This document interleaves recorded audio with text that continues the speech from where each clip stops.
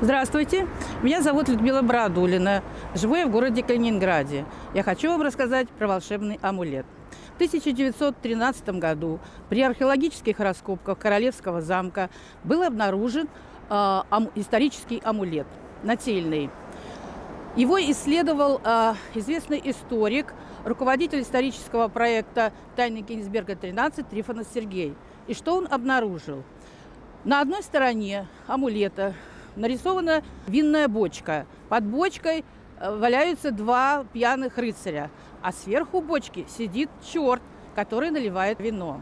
С другой стороны нарисован параграф и две единицы 11. Она означает поминальную молитву об умерших пьяных. Когда нашли этот амулет, он принадлежал герцогу Альбрехту Бранденбургскому, первому герцогу Пруссии. И от того, что у него был надломлен дух, не было наследника, придворный э, колдун изготовил этот э, волшебный амулет и помог Альбрехту избавиться от пьянства. Альбрехт родился в 1490 году и умер в 1578. Вот из-за этого амулета он стал здоровый и прожил такую долгую жизнь.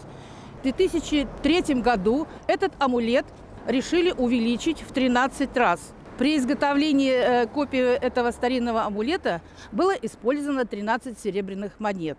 Амулет изготавливался в городе Гурьевске, э, монетной мастерской. И когда изготавливали копию, решили привлечь людей, которые страдают пьянством. В изготовлении этого амулета копии участие принимали э, активное общество «Трезвое поколение». Этот амулет решили установить на самом людном месте города Калининграда. Многие жители э, России, больные алкоголизмом, э, приезжают сюда, чтобы исцелиться, прикладывают руку и э, исцеляются. Поэтому приезжайте на город Калининград к этому волшебному амулету исцелиться.